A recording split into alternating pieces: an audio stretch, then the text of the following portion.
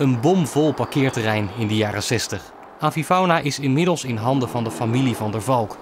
Het park is binnen een paar jaar een populaire attractie geworden door de bijzondere combinatie van vogelpark, rederij, speeltuin en uitgebreide horeca.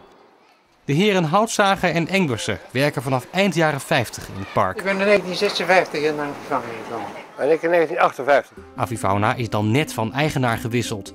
Het park was van de gemeente, maar die wilde er snel vanaf.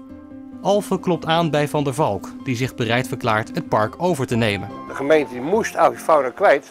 En toen heeft het, eh, meneer Van der Valk het voor 1 euro, of nee, pardon, 1 gulden was het toen, eh, gekocht of gekocht in erfpacht.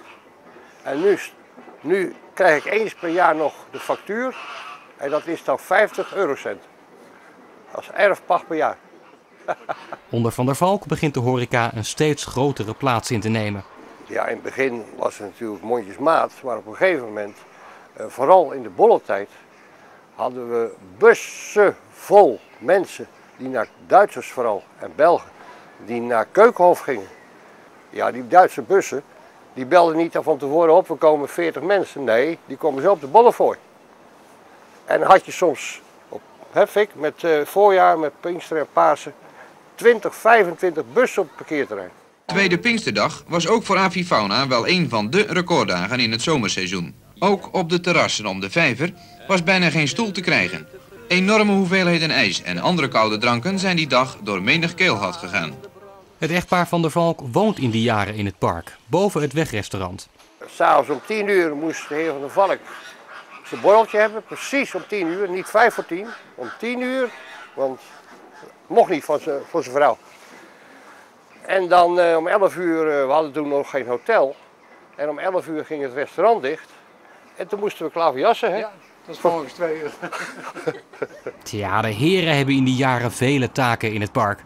De heer Houtzager treedt zelfs een keer op als persvoorlichter als de radio langskomt voor een live-uitzending. Nederlands grootste vogelpark is Avifauna. Het ligt in Alphen aan de Rijn. In het vogelpark spraken wij met de heer Houtzager. Ja, het is namelijk zo, we hebben dus eh, de zwartnekzwanen. Die, zijn- die beesten dus, die broeden tweemaal per jaar, zodat we tweemaal de vruchten daarvan plukken. Avifauna breidt uit en uit. De kleine speeltuin wordt elk jaar groter en neemt zo een steeds belangrijker plaats in in het attractieaanbod. De heer Van der Valk is dol op Anton Pieck.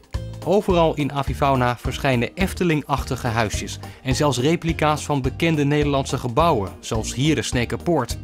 Van der Valk koopt stenen van oude boerderijen op en in het park worden zelfs stenen gebakken die worden gebruikt bij de bouw van de poort. Van eigen metselaars, we hadden eigen timmerlieden.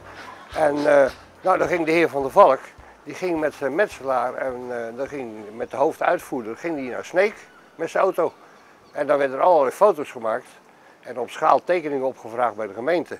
En dan kwam hier de Sneekerpoort. Zo bepaalt de familie het aanzien van Avifauna. Van der Valk beredeneert daarbij simpel maar doeltreffend. Wat hij mooi vindt, zal het publiek ook wel mooi vinden. En zo worden de keuzes gemaakt. Van vogels weet hij zelf niet zoveel. Nee, niks. Wel met auto's, maar niet met vogels. Nou ja, het verschil tussen de mus en de knaar, dat kon je aan de kleur zien.